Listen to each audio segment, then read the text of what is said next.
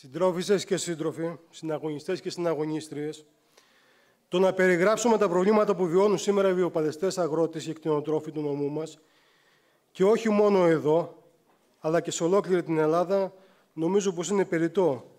Είναι περιττό δηλαδή να επαναλαμβάνουμε συνέχεια πως το κόστος παραγωγής, δηλαδή τα καύσιμα, το ρεύμα, τα λιπάσματα, τα σπόρια, οι ζωοτροφές, τα μέσα και εφόδια δηλαδή για να παράξουμε τα προϊόντα μας, τα παίρνουμε πανάκριβα από τη μια και από την άλλη μεριά οι έμποροι, οι βιομήχανοι, οι μεσάζοντες μας πληρώνουν αν και εφόσον, δηλαδή γιατί υπάρχει και το ζήτημα των ανοιχτών τιμών, κάτω από το κόστος παραγωγής.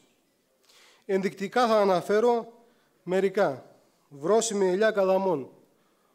Το αυτοποκολούμενο μαύρος χρυσός, όπως το αποκαλούν οι δήμαρχοι, οι περιφερειάρχες, τοπικοί βουλευτές και παράγοντες και βέβαια βιομήχανοι.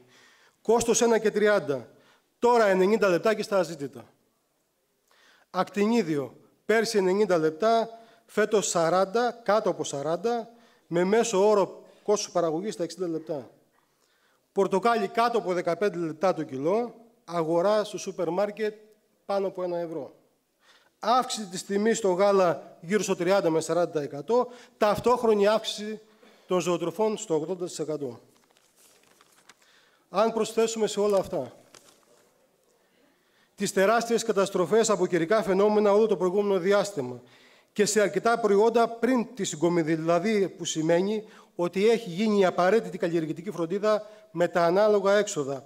Εκκρεμούν πορίσματα από τον ΕΛΓΑ, δεν λέμε βέβαια για πληρωμές, πάνω από 7 μήνες. Και το πιο τραγικό από όλα είναι ότι η μισή ετλοκαρνανία έχει γεμίσει με φωτοβολταϊκά και ανεμογεννήτρες, κυριολεκτικά η μισή ετλοκαρνανία, και η άλλη μισή δεν αρδεύεται λόγω του, του μεγάλου κόστους της ενέργειας και των έργων υποδομής, τα οποία βεβαίως είναι ανύπαρκτα. Όλα αυτά τα λίγα λοιπόν που περιέγραψα δεν είναι κερανό σε ενεθρία, ούτε έχουν γίνει από τη μια μέρα στην άλλη ούτε βεβαίως από μια κακιά κυβέρνηση.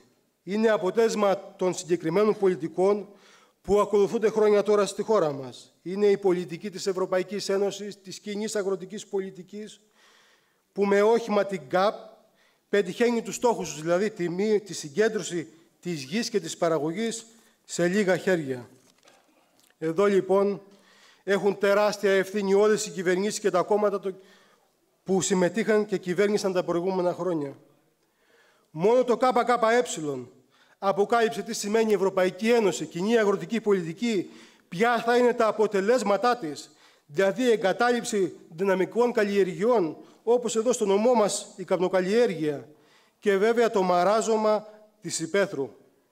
Μόνο το ΚΚΕ αντιπάλευσε αυτές τις πολιτικές, στήριξε και στηρίζει τους αγώνες μας και τα αιτήματα επιβίωσης που έχουμε για να ζούμε με αξιοπρέπεια στα χωριά και να καλλιεργούμε τα χωράφια μας.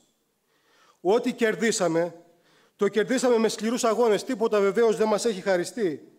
Άλλοτε μικρές νίκες, όπως πέτυχαν οι συνάδελφοί μας μιλοπαραγωγή στην Αγιά, στην Αγιά της Λάρισας, και άλλοτε μεγάλες, όπως είναι η επίτευξη του αφορολόγητου από τα μεγάλα μπλόκα του 16.